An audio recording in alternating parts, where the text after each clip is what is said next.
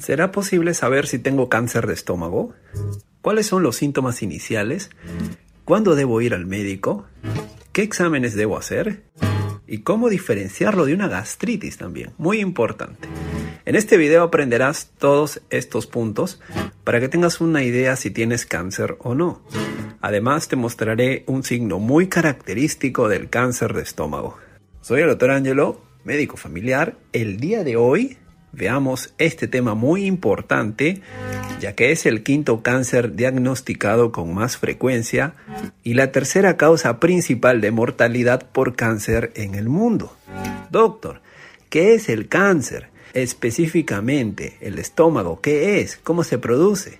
El cáncer como tal es una expresión anómala de células, es decir, proliferan muy rápidamente y producen daño en dicho órgano. Por eso le dicen tumores. Doctor, yo he escuchado el término tumor benigno y maligno. El maligno es el cáncer como tal, que crece muy rápidamente y luego hace metástasis, es decir, viaja a otros órganos. En el estómago, el cáncer se produce principalmente en la capa más interna, que se llama mucosa. Quiero que observen con atención aquí esta imagen. Podemos observar que el estómago tiene cinco capas el cáncer se desarrolla aquí en la mucosa principalmente.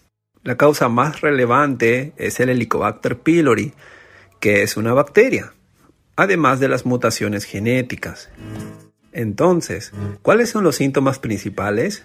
Usualmente, el cáncer no tiene síntomas iniciales o tempranos. Casi siempre se detecta en fases avanzadas y en pacientes mayores, específicamente pasado los 55 años, ya que la mayor tasa de diagnósticos por cáncer de estómago se da entre los 60 y 70 años el paciente viene con estos síntomas. Aquí se los digo, ojo, es muy importante esto el paciente llega con pérdida de peso inespecífica, es decir, ha perdido un 10% de su peso, pero rápidamente, ¿eh? en unos 6 meses máximo. Dolor abdominal persistente, viene con disfagia, que significa dificultad para deglutir, viene con hematemesis, que son vómitos con sangre, tiene anorexia, que es la pérdida del apetito, tiene náuseas, saciedad temprana, y dispepsia. La dispepsia es el malestar estomacal que tienes después de haber comido. ¿Sabe, doctor? Yo tengo esos síntomas y tengo 20 años. ¿Tengo cáncer? Cuando nos llega un paciente con esas características, lo primero que evaluamos son sus factores de riesgo. Es decir, vemos antecedentes, si tiene familiares con cáncer, evaluamos qué come o cuánto come y le damos tratamiento para gastritis y luego volvemos a evaluar en unas semanas. Esto se los digo así a grosso modo. Si estos síntomas eh, lo trajera un paciente mayor de 50, 60 años y nunca se ha hecho una endoscopía, sería bueno hacerla para ver cómo está su estómago. ¿Se dan cuenta de la importancia de los síntomas y de la edad? Doctor, yo tengo 40 años, ¿qué hago? En ese caso preguntamos también si tomas alcohol, fumas o tomas algún tipo de medicamento. No nada, doctor, yo soy sano. Perfecto. Entonces, hacemos una endoscopía con test de ureasa. No, doctor, sabe, yo tengo miedo que me pongan un tubo por la boca, no me gusta la endoscopía. Bueno, entonces podemos hacer una prueba de antígenos en heces para Helicobacter pylori, donde se busca reacciones que produce el cuerpo contra esta bacteria en las heces. Recordar que el Helicobacter pylori se encuentra en agua y comida contaminada. Por eso es que existe mayor prevalencia de gastritis por esta bacteria en países en vías de desarrollo, en el África y en Asia, por ejemplo. Por eso es muy importante hervir el agua y comer en lugares con buena higiene, ya que esta bacteria conduce a gastritis crónica, la cual puede desencadenar cáncer de estómago.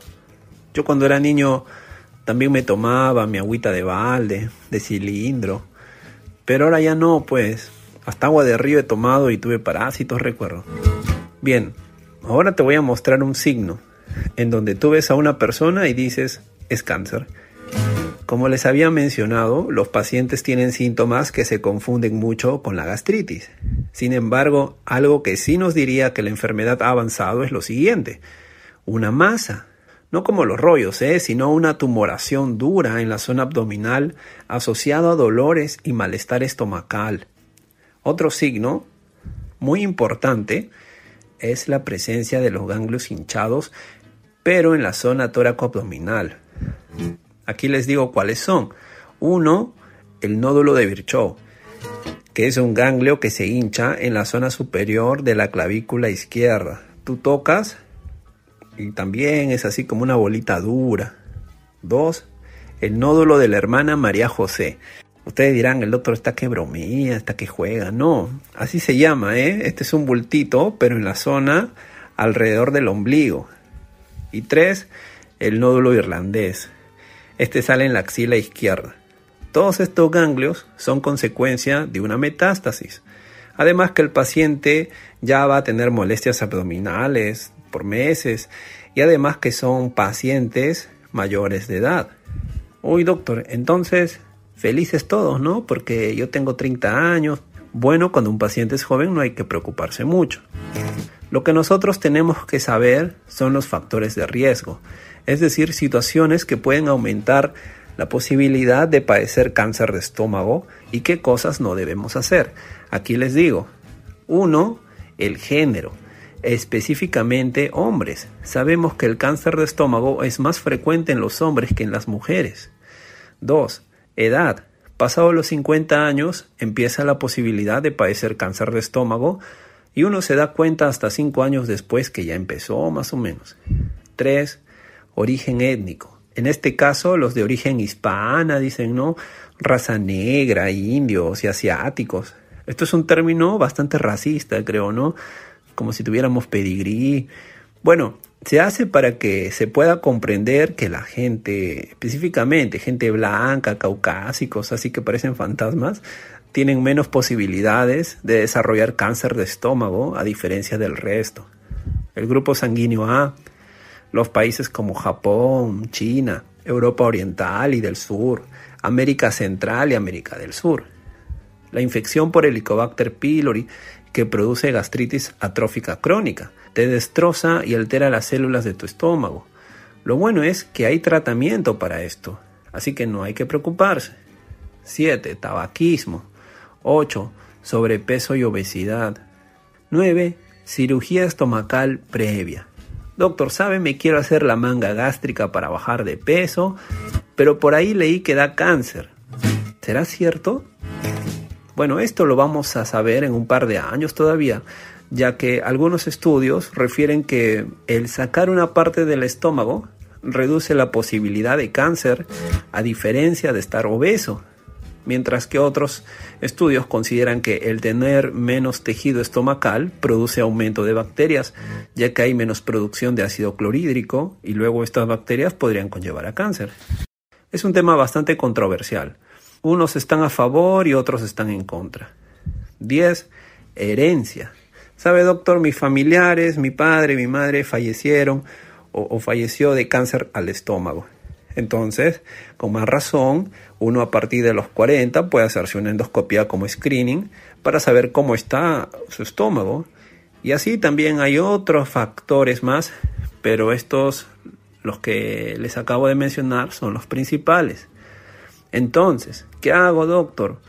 Para que no me dé cáncer, o sabe, doctor, estoy mal, con náuseas, malestar estomacal, hasta me estriño. Como les dije, los síntomas hay que asociarlos a la edad y a los antecedentes. Si soy joven, tratemos como una gastritis y evaluemos a las semanas. Si no hay mejoría, pensemos en Helicobacter pylori, hagamos una endoscopía o incluso una ecografía abdominal nos permite ver qué tan grueso está la pared del estómago. Muchas veces no hay nada. Se hace endoscopía en vano, más aún en pacientes jóvenes a veces es estrés, preocupaciones, mucho piensas, te enojas, comes fuera de tus horas, etc. Las medidas preventivas son las siguientes. Alimentación, nutrición, disminuir el peso corporal y hacer actividad física. Doctor, ¿qué puedo comer? Bueno, frutas y verduras frescas reducen el riesgo de cáncer de estómago. Las frutas cítricas, como por ejemplo las naranjas, limones y toronjas, ¿Sabían que el tomar un vaso de agua con limón en ayunas podría ser beneficioso para disminuir el cáncer de estómago? En fin, hay muchos elementos naturales que se pueden consumir para reducir los cánceres. Ya les estaré subiendo más adelante. Por ahora hay que comer sano, hacer ejercicio, eliminar el tabaco, que es el cigarro, el alcohol y también tratar el Helicobacter pylori si es que lo hubiese. Doctor, ¿cómo puedo eliminar el Helicobacter pylori naturalmente? ¿Será posible? Bueno, eso lo veremos en un próximo video cuando hablemos de gastritis o terapias para el cáncer. No olviden suscribirse, mis queridos amigos. Nos vemos en una próxima. Muchas gracias.